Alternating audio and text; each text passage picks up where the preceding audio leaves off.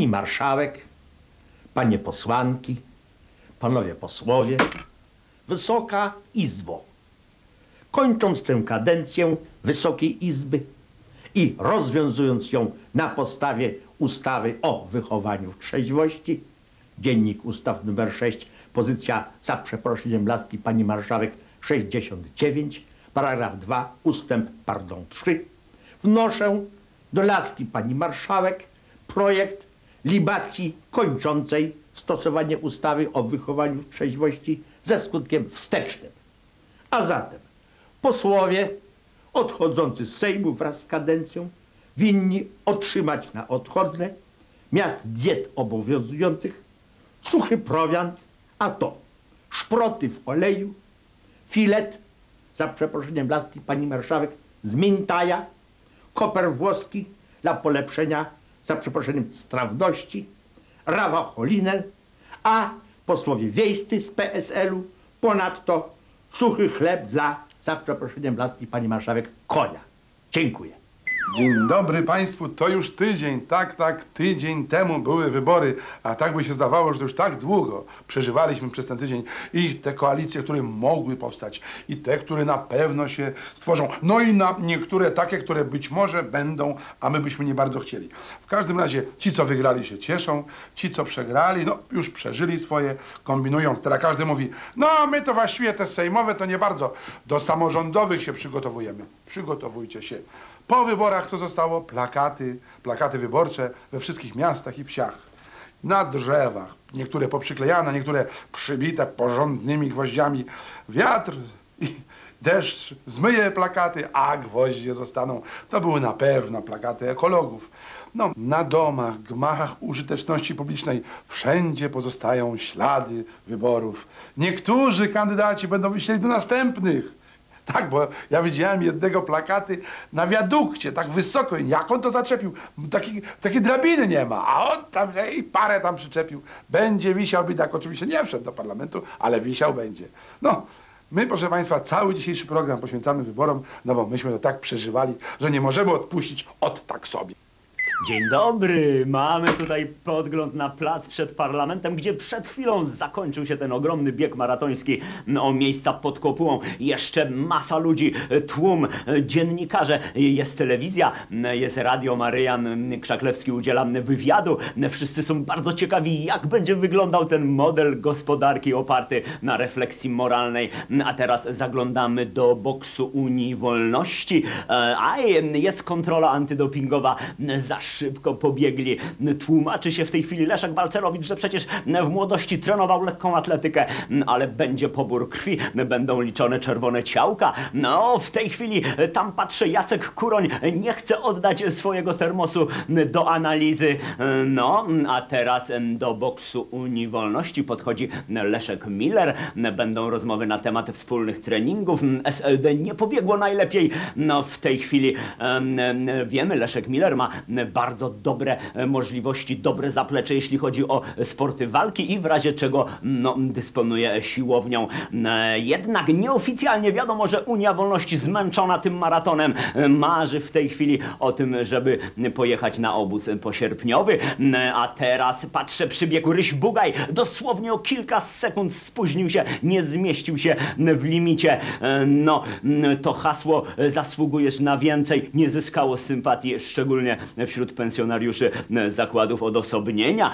I oto zaglądamy do zagródki Waldemara Pawlaka. Waldemar, oczy e, mądre, e, mokre, wilgotne, smutne, a przecież cała wieś głosowała na niego, ta wieś, w której mieszka. No jeszcze jedna wieś też zdaje się głosowała, nie, nie zyskało popularności hasło Waldemara, ten fundament nowoczesności, PSL, prawda, pług, stajnia, lejce. Nie słuchają tego chłopi. Mm, A teraz widzę nieprawdopodobnie zmęczony Jan Olszewski. E, e, no przycupnął na moment, usiadł tam w loży honorowej. E, To też nie jest popularne, te związki pana Olszewskiego z lożą. Mm, A teraz już mm, widzę, zajechały radiowozy, przyjechał trener koordynator Aleksander, już był selekcjonerem w czasie olimpiady w Seulu, ale tutaj będzie bardzo trudne zadanie, bo oto znowu Marian Krzaklewski, już wypoczęty od odświeżony, uczesany, czysty, jak on to robi. E, A przecież wiemy, że no, praktycznie nie korzysta z odnowy biologicznej. Więcej chodzą słuchy nawet, że no, pragnie zlikwidować te jak bardzo ostatnio popularne gabinety masażu. I tak wygląda na dzisiaj, w tej chwili sytuacja tutaj przed parlamentem. Jeszcze trwają negocjacje. Nie wiadomo jak to się zakończy, a my będziemy Państwa informować. Tymczasem do widzenia i do usłyszenia. Cześć. W naszym barku ekspert od mody męskiej. Panie Marku, czy moda miała wpływ na wynik wyborów? Nie oczekiwałem tego, ale miała i to bardzo duży. Czyli uważa pan, że wygrane frakcje były lepiej ubrane od tych, które przegrały? No jest to oczywiste, wyniki mówią same za siebie. No, weźmy pana Mariana na przykład. Pan Marian wziął bardzo dobry wzór z najbardziej znanych osobistości światowych, od prezydenta Clintona począwszy, poprzez inne osobistości prezydenckie. Wprawdzie różni się krawatem, Tak? bo nasz prezydent to te grochy i wspaniałe niebieskie koszule, natomiast y, pan Marian tutaj do krawatu Czyli dodał... pan twierdzi, że pan Marian z, wzorował się na panu Kwaśniewskim? No może nie bezpośrednio, ale wiele ciekawych rzeczy może przejął i wynik to potwierdził. A no widzi pan, no tak, no ale idźmy dalej. Już sojusz lewicy, jak te- jesteśmy przy panu Kwaśniewskim. Pan premier Cimoszewicz. Pan premier Cimoszewicz. Klasyka. Klasyka. A pan Stanowczość. A pan Oleksy? Y, Bardzo spokojnie, bardzo spokojnie, w sposób zrównoważony. W zasadzie żadnych dodatków, które wyróżniałyby z tłumu. No tak, ale pana Oleksego i tak można w tłumie zobaczyć, także wcale się nie musi wyróżniać. No i tutaj Unia Wolności. Jak pan oceni w ogóle generalnie kostiumy Unii Wolności? Unia Wolności w zasadzie jako jedyna partia y, osiągnęła tak wspaniały wynik. I potwierdzone jest to, muszę powiedzieć, znakomitym ubiorem pana Balcerowicza.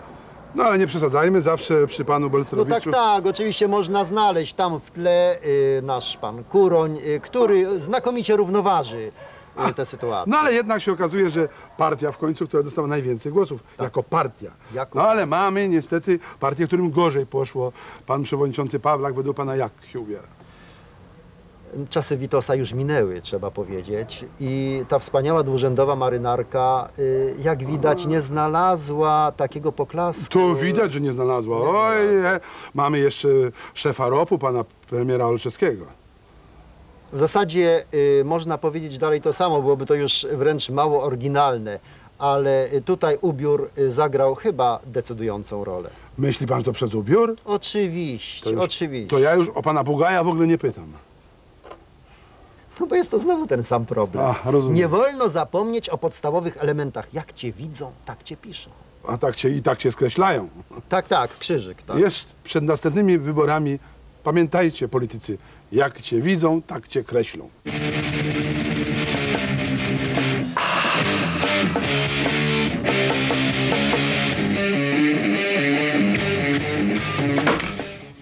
I co tam słychać, panie Antoni? Ach, panie redaktorze, bardzo się martwię. Martwi się pan. Martwię się bardzo. Myślałem, że może kawkę u pana jaką wypiję. No wie pan, ale ja bym chętnie pana poczęstował, ale No. i tak pan do tej, co ja piję, nie przywykły, no, więc... To tak, no to będę się dalej martwił, wie No. pan. Nawet tak się ostatnio martwiłem, że żona mówi Antoś, przestań, nie śpisz po nocach. Tak. Idź do pana redaktora, on w telewizji pracuje, mądry jest, on ci powie wszystko. No i bardzo mądrze żona panu poradziła. Wie pan, odnoszę wrażenie, że pańska żona doskonale wie, że my, dziennikarze, to tak zwana czwarta władza. Dzięki Bogu No niewybieralna. właśnie, niewybieralna, a, a proszę, a parlament wybieralny. No i czym pan tak się martwi? No się martwię tym właśnie parlamentem, ja nie wiem, no tym, tym, tymi wyborami, czy się mam cieszyć, czy mam płakać. Panie no, Antoni, cieszyć się. Cieszyć Po się? prostu cieszyć się. Cieszyć Ja tu mam program, Tak. panie Antoni. Po No. tych wyborach w Polsce tak będzie. Tak będzie? Tak będzie albo jeszcze lepiej. Naprawdę? Tak, taki To się cieszę. Panie Antoni, taki przykład, żeby panu przybliżyć. Na przykład, ma pan w swoim otoczeniu jakiegoś nauczyciela. To żona jest nauczycielem. Żona, tak. panie Antoni, tak będzie miała. Ale finansowo też? Tak, wszyscy No, nauczyciele tak dzięki będą mieli. Bogu, no. Lekarza pan ma? Mam, tak. Tak? E, Szwagier jest tym. Aha, no to le- weteryniarzem To jest. lekarze tak będą We, mieli. weteryniarze też? Wszyscy już niedługo tak będą To mieli. tak się cieszę. A naprawdę. jakiś emeryt, rencista? Ja, e, niechwalący się od miesiąca, jestem na emeryturze. Panie Antoni, tak pan będzie Ty miał. też? Listonosz będzie tylko do pana przychodził, bo mu się te pieniądze w torbę nie będą mieścić. Poważnie? Tak jest. No tak się cieszę. Panie Antoni, tu w programie wszystko zapisane. No to A naprawdę. artyści jak będą mieli? Artyści też? No tak, ja U. panu powiem. Na przykład taki piosenkarz, Krzysztof Krawczyk. Widziałem go w, ty, w tych wyborach w telewizji. No więc właśnie, więc już nie będzie musiał się ukrywać. Nie będzie się ukrywał? Nie, już nie będzie umęczony, już nie będzie musiał śpiewać aluzjami, bo on śpiewał przecież aluzjami, do tej pory. tak? No tak, on śpiewał na przykład parostatkiem w piękny rejs. To aluzyjna piosenka jest? Oczywiście tu nie chodziło o żaden parostatek, A o panie co? Antoni, on już teraz będzie mógł zaśpiewać na przykład Gdzieś aurorą w piękny rejs. Wredny rejs. Wredny rejs. Wredny rejs. To o aurorę chodziło. To, no i on No tyle lat się ukrywał. z tym. Tyle to lat. Każda jego piosenka zakamuflowana. Nareszcie Oczywiście, wolna... od nowa zaśpiewa. To i w telewizji się zmieni. W telewizji Nareszcie, wielkie zmiany. No, Panie Antoni, tu w programie jest wrócą pana ulubione programy. Tak się cieszę. Mam nadzieję, że już teraz co godzinę będzie ten e, program WC Kwadrat, Tak jest. e, te swojskie klimaty bez przerwy, a puls dnia na okrągło. I to wszystko, panie Antoni, bez znieczulenia. Oczywiście. Odejdźmy na chwilę, proszę Państwa, od tematyki wyborczej, bo jeszcze będzie o wyborach sporo, ale dostaliśmy takiego ziemniaka ładnego. Proszę, jak ziemniaki się pięknie potrafią rozwinąć, prawda? Oj, ty, ty, ty. O, podobny do jednego posła. Mie, mie. No, dobra. Co mamy, proszę Państwa? Okazuje się, że jest miejscowość Wódka. Ja mówię, że to jest nieprawda. Mówię, jak może miejscowość Wódka w takim kraju jak nasz? Przysłał do nas pan Zdzisiu Kuczak. Przysłał, jest on na zdjęciu, mapę przysłał nawet, gdzie jest ta wódka. Proszę bardzo, zaznaczone, bardzo ładnie. Wobec tego dla Pana mamy nagrodę, prenumeratę tygodnika Angora. Pan będzie sobie czytał o innych miejscowościach, a mieszkał w wódce albo przebywał z wódką. To już Pana sprawa. No i instrukcja przyszła. Mówiłem o wielu, wielu instrukcjach e, korzystania z toalety, ale tu jest zupełnie inna instrukcja korzystania z pisuaru. I etap pierwszy czynności przygotowawcze, etap drugi celowanie, etap trzeci realizacja procesu i etap czwarty czynności końcowe. Zarząd zwraca szczególną uwagę na prawidłową realizację etapu drugiego. W przypadku niepowodzenia w tej fazie prosimy o zniwelowanie jego skutków przy wykorzy- wykorzystaniu wyłożonych serwetek i powrót w koniecznym zakresie do etapu pierwszego. No, teraz Państwo wszyscy wiedzą, jak jest, a my lecimy z programem dalej. Dzień dobry Państwu. Dla dyżurnego satyryka kraju, dyżurny sprawozdawca parlamentarny. Co na temat y, wyborów ostatnich sądzą znani y, politycy? Jako pierwszy odpowie na moje pytanie Józef Oleksy, były premier. Ja myślę, ja może powiem wierszem, bo ładniej. Ja myślę, że w tym nowym krajobrazie politycznym na pewno włos z głowy mi nie spadnie. A teraz y, kolejny nasz rozmówca, profesor Bronisław Geremek. Chciałbym powiedzieć, że w tym nowym krajobrazie politycznym powinna nastąpić pewna stabilizacja życia politycznego. Tego oczekuję jako polityk i myślę, że nie ruszymy się ani w tę, ani w tę stronę. Teraz kolejny nasz rozmówca to były premier Waldemar Pawlak. No więc ja uważam, że ten wynik wyborów wcale nie jest taki zły. Uważam, że przeszła esencja PSL-u i myślę, że mimo to, że dochodziły mnie słuchy również, że po wsi jeździli i kradli nasz elektorat, to jednak wynik jest niezły. Poproszę kolejnego naszego rozmówcę, jest nim prezydent Lech Wałęsa. Oczywiście chcę powiedzieć, że w temacie wybory jestem za nawet przeciw.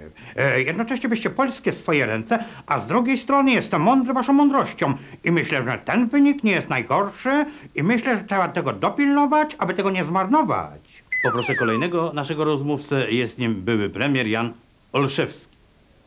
Oczywiście sprawa jest bardzo ważna, ponieważ w tej trudnej i złożonej sytuacji obawiam się jednego, że mimo dobrego wyniku wyborów może nastąpić krótkie spięcie, tak przy byłym, jak i obecnym prezydencie. Poproszę kolejnego naszego rozmówcę, jest nim chyba już ostatni nasz rozmówca, pan Jacek Kuroń. Rysiu, uśmiechnij się, jutro będzie lepiej.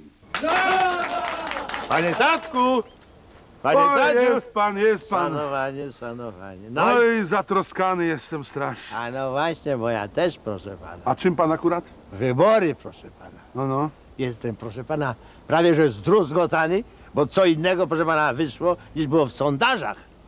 No bo to- sondaże nie, przy, nie przewidują jednego irracjonalnego elementu wyborów, jak uroda kandydatów, proszę pana. Uroda? No a ja. Wygrała akcja, proszę pana, bo była akcja, ta akcja. Zauważył pan? Tak. Wszyscy mówią ten AWS. Nie, No. to jest, to jest ta AWS. A, i ten PSL mówią. To PSL jest. To PSL i ten SLD. A ta sojusz? Nie. To, to, Ta i ta UW, a Ale nie lewica. UW. Nie, proszę pana, No, wchodź. gra, gramatyka, po Ale prostu gramatyka. Proszę tak, nie tak. mieli spraw. Nie przewidywali, że irracjonalnie niektórzy spojrzą, że program polityczny dobrze, ale uroda lidera przede wszystkim. I dlatego. No proszę pana, pan Cimoszewicz to co? No ale pan, Że tak powiem, nie wyrażę się, przystojnych łapisko, proszę pana. to też co? sojusz odniósł czty- parę milionów więcej głosów niż miał. A pan Cimoszewicz co? Poszedł w dół. No W samo, Kalinówce, tam ale gdzie... tylko w Kalinówce. I to kościelnej, proszę pana. No może dlatego, że kościelny. A, proszę pana. ale nie, nie, proszę pana, bo tam pan Cimoszewicz jest na stałe. I kobieta podobno jak na co dzień ma przystojnego, to po jakimś czasie się znudzi. Nie wiem jak pańska żona. Proszę. Moja się nie nudzi, no bo ja tam za przystojny nie jestem. Proszę pana, dobrze, w takim razie drążąc ten temat, jeżeli pan Cimoszewicz tam przegrał, a tamten jego facet, konkurent dostał trzy razy więcej, to jak on musi być przystojniak? Pan go widział? No, nie pokazali. A no widzi pan. Nie, to, nie wiem, to Gary Cooper będzie, przynajmniej Olbrychski, czy co, Ja co myślę, jest? że również nie uroda wpłynęła, bo tam w Kalinówce oni nie za bardzo lubią służb specjalnych. Kościelny. Kościelny. Wie pan, że... Powiem panu jedno. No. Pan premier, po co on się powoływał na służby specjalne?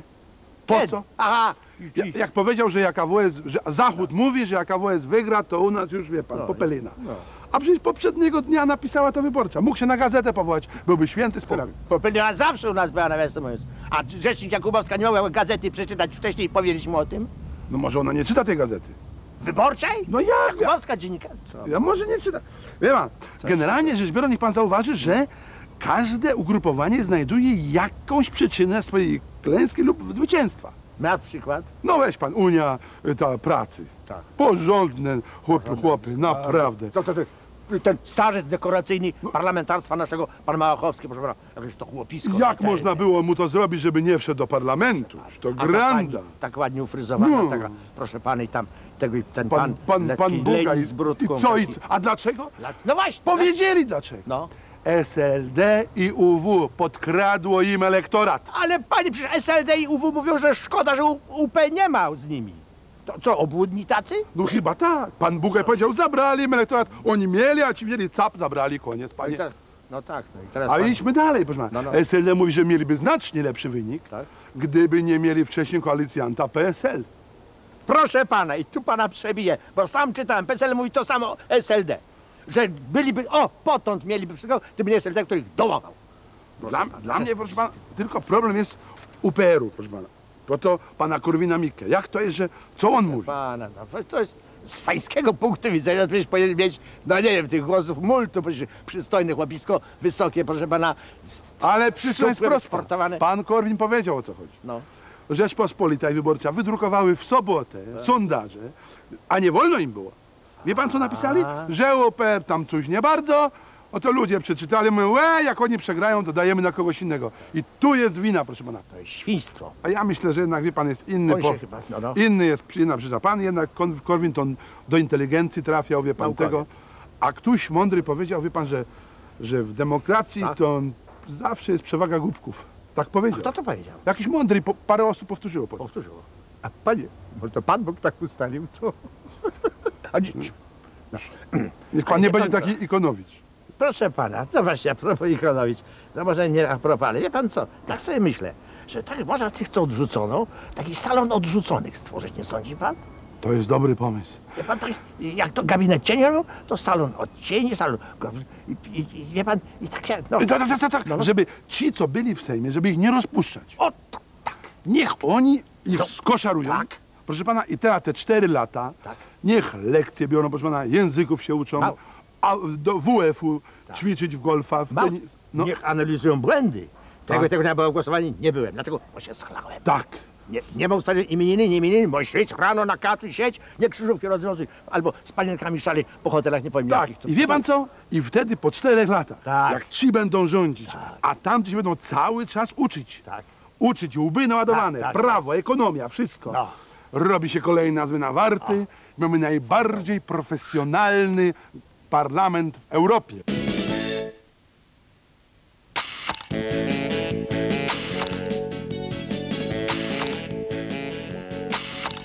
Witam w kolejnym wydaniu naszego konkursu fotograficznego.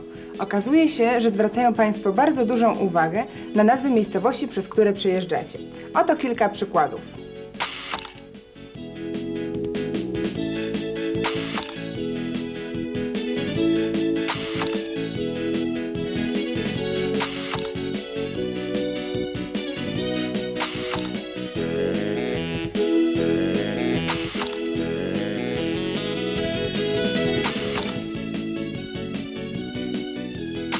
Teraz szczęśliwi nagrodzeni w tym tygodniu.